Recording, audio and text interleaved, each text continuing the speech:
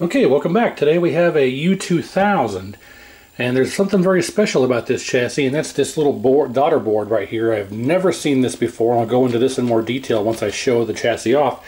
But this was sent to me because it's got some vertical tearing and jitteriness and the screen's just basically going all haywire and the colors are pretty much crap. Uh, so I'm pretty sure R811 is going to need to be replaced, but it has been recapped, but it's going to need a full reflow inspection and all the normal stuff.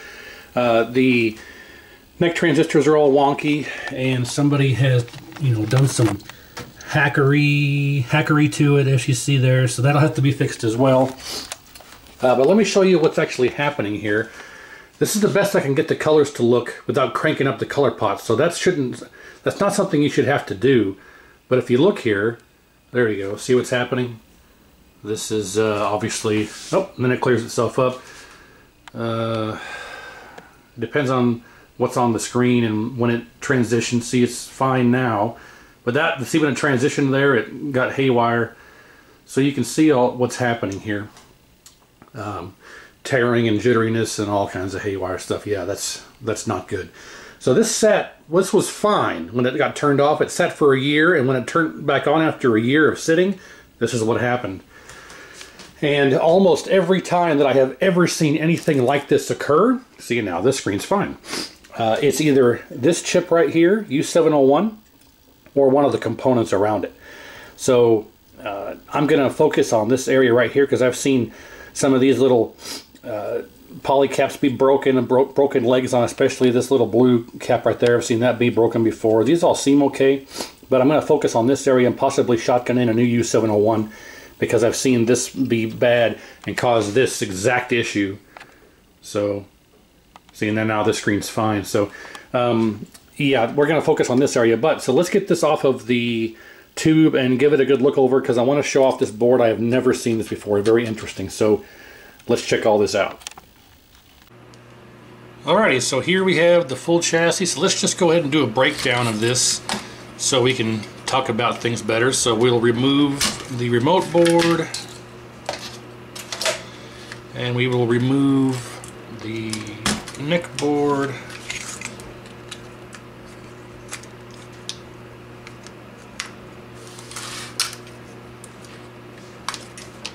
Set that aside for now. And we'll take this off of here Alright. So, what's very interesting to me is this mod.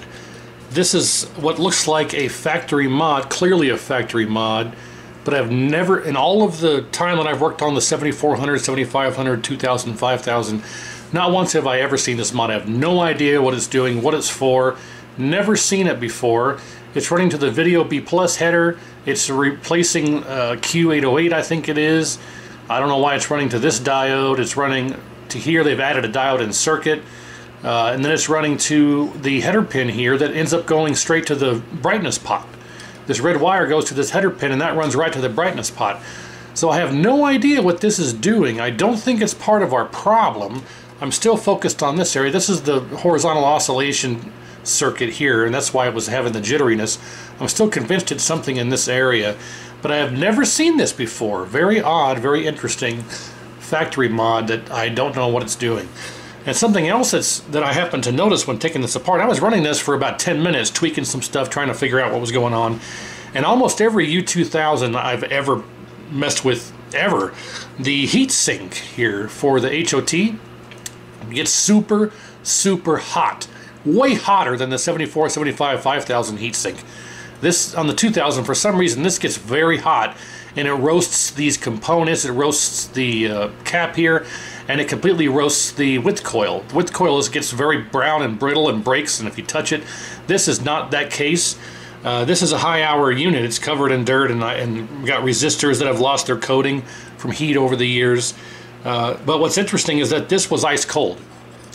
This thing did not get warm really at all, lukewarm at best after 10 minutes, and that is another very odd activity for the U2000. So I wonder, because this is running to the Video B Plus, and it's part of this part of the circuit here is obviously picking up off the. I wonder, off the Video B Plus, I should say. I wonder if it's causing a secondary reaction to keep this cooler, and maybe that's what this mod is. If that's if that's the case, then this needs to be incorporated on every U2000 out there.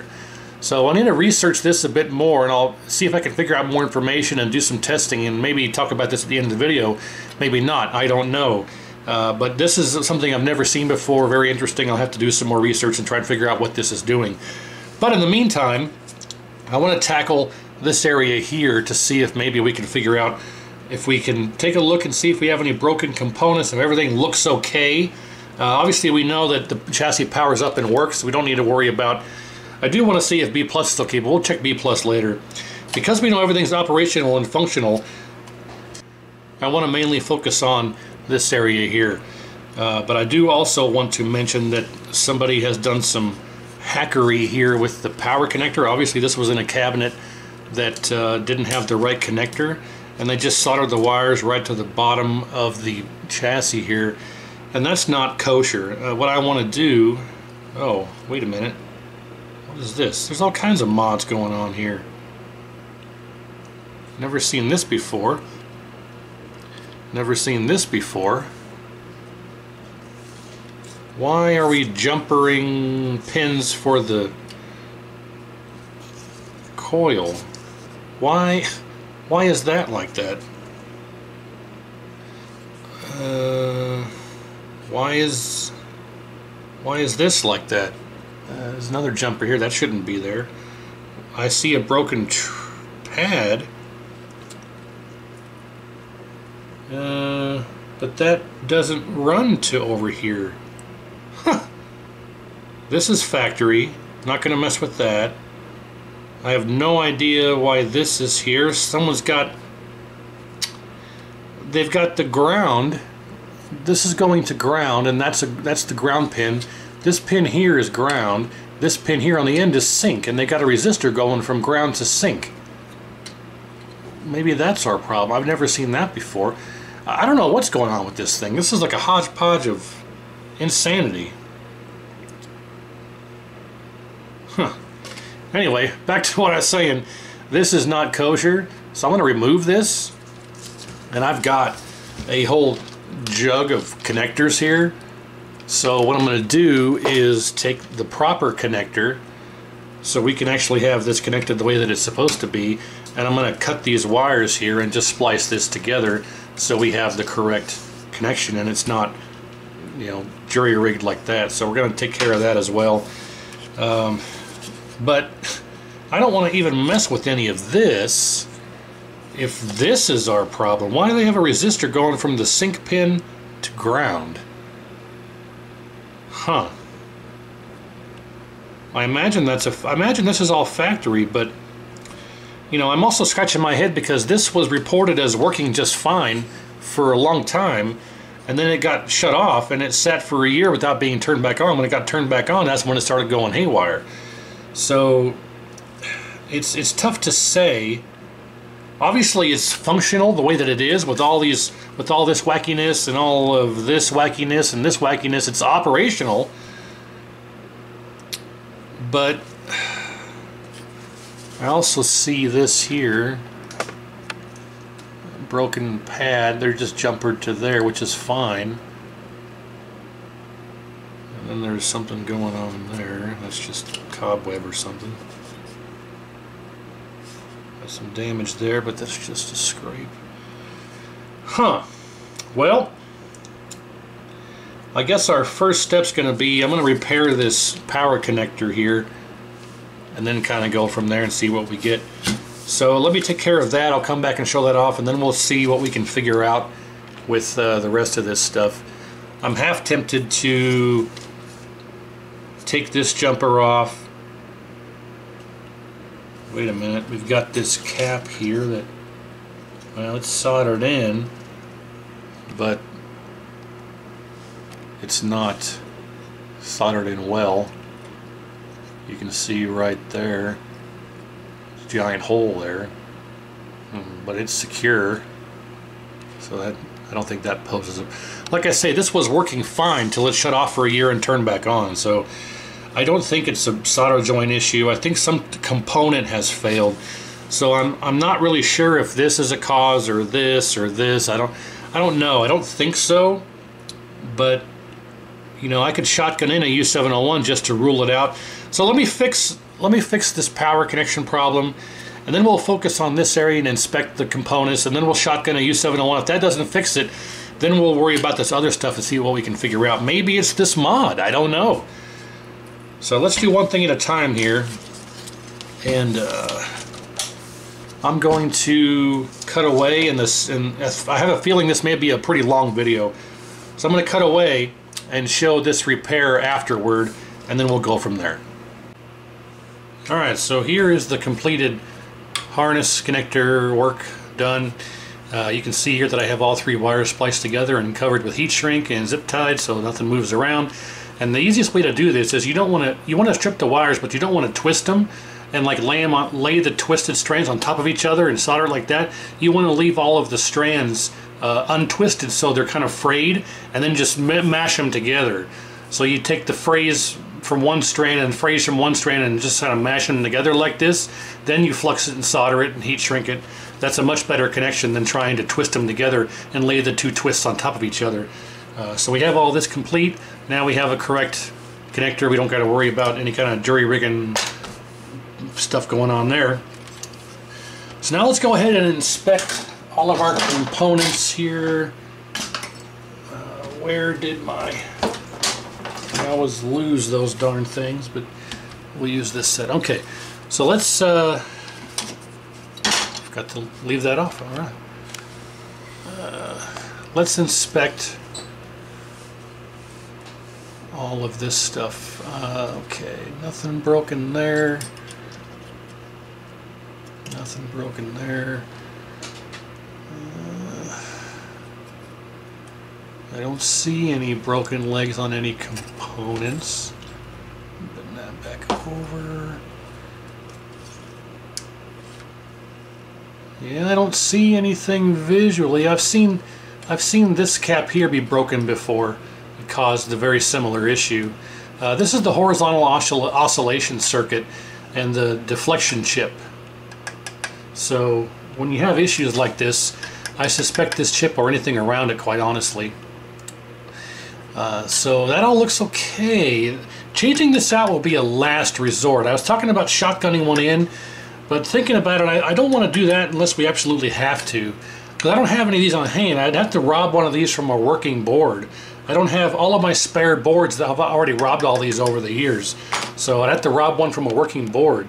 I don't want to have to do that. Uh, so I want to turn my attention back to these mods on the bottom here, especially this. Um, I, I, have seen, I've seen this resistor installed in the past. What makes me weary is the fact that it's going, it's grounding the sync input. It's literally taking the sync input and grounding it through, a, it's acting like a pull down to the best of my experience. This is a, basically acting like a pull down resistor. It's pulling down the sync signal to ground. Why? I don't know. This I think is part of that. This I think here is part of this mod, this board. And uh, some further research indicates that this is a mod for a supplemental brightness circuit. Because um, it's picking up off the Video B Plus and going through some transistors and a capacitor and it's going back out and feeding the brightness circuit. So I think this is a supplemental brightness circuit. Uh, I don't know, I've never seen it before, but it's quite interesting. Uh, but I think what I'm going to do is I don't understand why this is here, or what purpose this is serving, because there's no trace here, not supposed to be, and it's part of this transformer here. So I think what I want to try first is removing this resistor that's pulling down the sync signal to ground. So let's try that just to see what that does. If it makes any difference, if not, then I want to see about removing this. Maybe this is affecting something. But I want to try this first. If we take this off and nothing happens, take this off, nothing happens. I don't want to mess with this. This is part of that mod for the brightness. Then we'll attack this. I've already reflowed everything in preparation, but I don't think that's going to do anything. So um, I think what I want to do is attack this to see if maybe we can get this to work by uh, removing this resistor here. Now, like I say, I've, I've seen this before, but why this is here, I don't know. I don't think I've ever seen it cause this particular problem. Put that back on there. Okay, um, well, there we go. Is this resistor bad? Let's read it, see what it shows.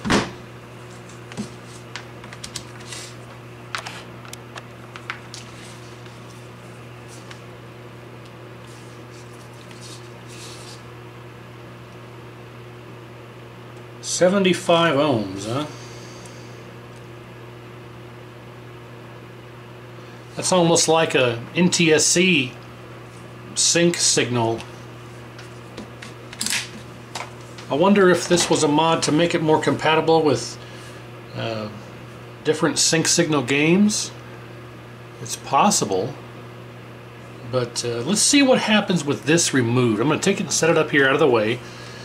And let's get this back on the tube and see what happens. If it still has the the same problem with the jitteriness and the you know the, the tearing and whatnot, then I want to remove this jumper and see what that does. So with that resistor off of there, I'm suspicious of that, especially because it's literally grounding the, the sync signal, you know, through 75 ohms to ground, and I don't know if that's enough to cause that type of problem that we're seeing or not. Because I have seen that before, if memory serves, but I don't think it was causing this problem. It could be other things like this, this jumper here. But let's let's hook it back up and see if there's any change to the discrepancy, and we'll go from there. Alright, so we're all hooked back up. Uh, anode, neck, yoke, ground, power, video, remote, count to seven. Here is our suspect resistor off of the sync circuit. So let's see if that does any anything, makes any change or any difference here. One, two, three. Hmm, there's a higher pitch noise than there was before. Well, look at that. Let's give it a minute here.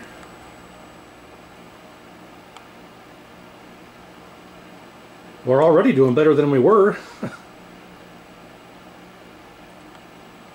but uh, I don't want to celebrate too early.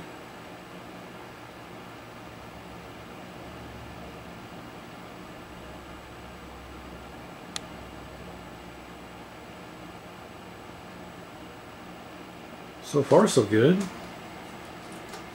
Yeah, look at that.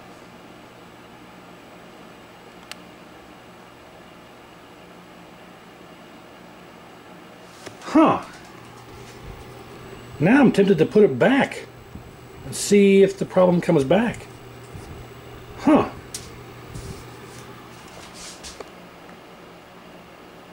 Look at that. No problem at all.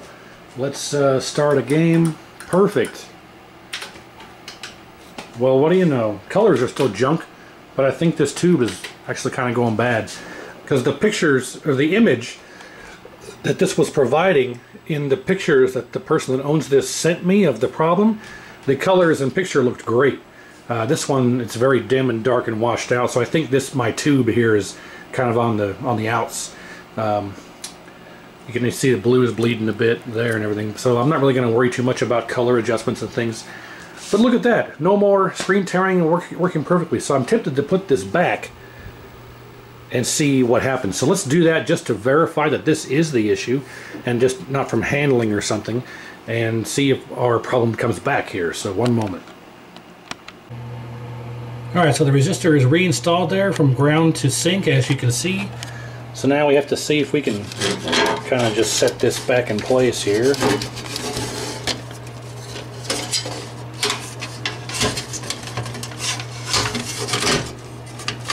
There we go.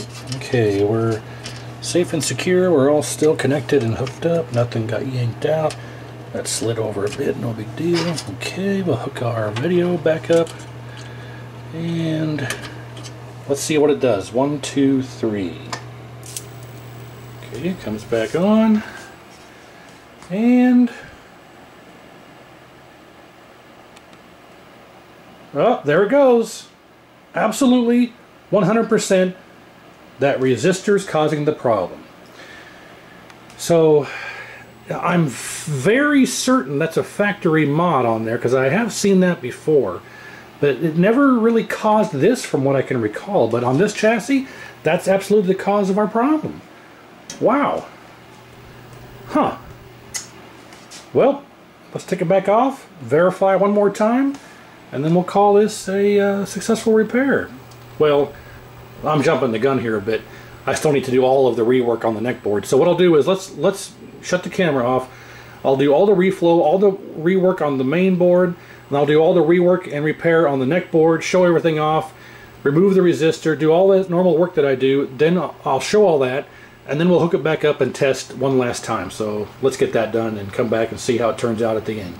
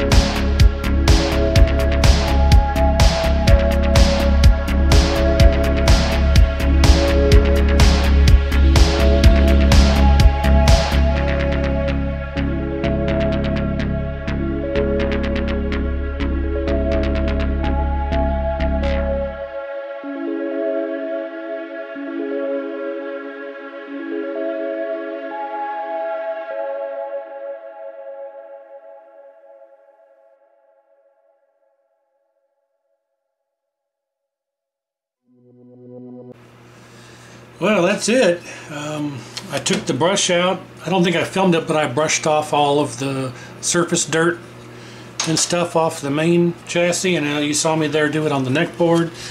Uh, the neck board didn't get recapped. The main board was recapped, but whoever did the cap kit didn't change the caps on the uh, neck board. So we got the neck board caps replaced, got everything readjusted and cleaned up, uh, solder joints and everything reflowed. You saw the rework on the neck, or I'm sorry, not the neck, the uh, transistors, so all that's good, but those jumpers didn't even really need to be there. I'm not sure why, uh, but we can see here that everything turned out just fine. I'm not sure what the purpose of those jumpers were even doing there, maybe a preventative measure, but they weren't necessary. Everything's nice and flat now. We're all lined up. Everything is good to go. And, you know, they're relatively secure. I'm not going to move them too much, but they're all lined up and, and, they're not flopping around and everything is, you can move it around. They stay in place. So solder joints are good. Everything should be good to go now. So I got that resistor removed. It is sitting right here. So let's get it hooked up, get it tested one more time, put it through its paces, and we'll call this a successful repair. So let's see how it turns out. Okay, all hooked back up. Uh, anode neck yoke ground power video remote. The Critical 7 on these series of chassis. And yeah, I believe we are ready to go. All the color pots are set to about 25%. Uh, the bias pots, under the drive pots are at 50 all the biases are about 25% because these like to be about 25%. Anything higher, they bleed. So that's all preset. Um, we have our remote board here, so uh, let's see how good we can make this look. I need to get my chassis, not chassis, I'm sorry, PCB plugged in. I always forget something. So we got to plug in. Um, the this monitor came out of a UMK3. Uh, I've only got access to a regular original MK3 board here because I'm in the middle of a restoration. So I got MK3 here that we can use for testing just to get an idea. Uh, like I say, this came out of a UMK3, so we're going to see how good we can make it look with an actual MK3 so the owner can get an idea of how well this should end up once he gets it back on his tube. Uh, okay, so that's connected. We are all ready to go. New power cable is hooked up. Okay, nothing too but to do it here. One, two, three. Okay, it comes on. Still got that high that high pitch noise. I think the flyback may be due for replacement, but otherwise it is working, so we're not really going to worry too much about it. And hey, uh, no waviness, no tearing, no problems. So let's see if we can make this look very well here. How good we can make it look, I should say.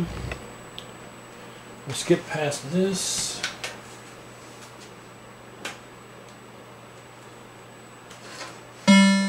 Contrast may be a bit too high. We got some degaussing issues here. Alright, let's... Uh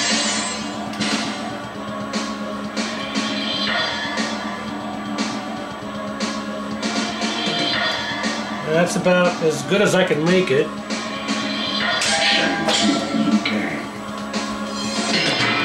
This tube needs some is needs some major work.